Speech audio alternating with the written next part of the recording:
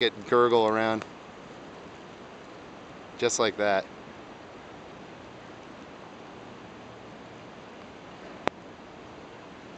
Okay, now fire it back out again and just fire it like further out that like try to get that leader to straighten out too stop your rod higher up will be the trick there you go